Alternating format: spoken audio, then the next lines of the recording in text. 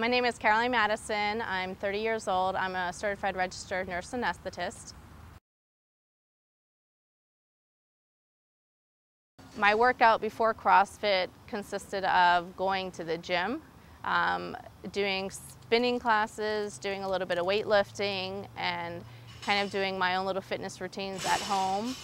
And it was not enough because it was lacking competition, um, kind of the environment of uh, just wanting to do better, and um, it it was boring, just plain and simple. It was absolutely boring to kind of do that, and it took a lot of motivation on my behalf to stick with the workout regimen. First of all, I think it uh, goes along with any CrossFit. I think it's the people that make CrossFit. Um, you can't beat the atmosphere around here. Um, with Dan being the box owner, and then we kind of have a group of us that come regularly, and it's kind of like our own little family. And uh, love it. It's the people that make CrossFit Woodbridge, and that's why I spend as much time here as I do. My life has changed drastically since uh, joining or starting CrossFit. Uh, six months into CrossFit, I became CrossFit certified, and from the moment I joined, I've just been addicted to it. It is second best to kind of bringing me back to my collegiate athletic competitive days. Um, I I love it. It's uh, it's kind of put the drive back in working out for me, and it's always achieving new goals and becoming stronger. Um, and uh, I love it. It's, there's nothing that I can't say that I don't like about CrossFit. And for the first time, I've kind of combined fitness, working hard, and like nutrition all together.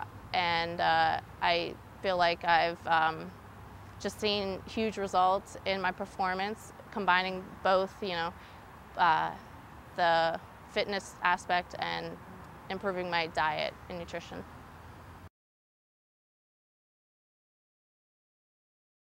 CrossFit Woodbridge is so different than any other workout regimen I've done before. Um, there is a team aspect that uh, that comes along with CrossFit, and uh, you know you you truly are your own competitor. But at the same time, there can be up to 20 people working out here with you and kind of pushing just as hard and making you become a better athlete My future goals with CrossFit are to, um, to continue to be competitive. Uh, last, um, last year as a box we competed in the sectionals and, um, and that was pretty awesome. I think we realized that uh, we can be, um, we're pretty competitive and uh, so I think I just want to continue to get stronger, continue to work on my weaknesses, continue to be fit, and um, of course there's always improvement with um, uh, diet and nutrition. So just kind of optimizing those areas along with working on some weaknesses here at CrossFit, which are always in existence. Uh, do I think CrossFit is for everyone? Absolutely. Uh, there are a wide variety of um, members that we have. Some, some of them have never done anything athletic before.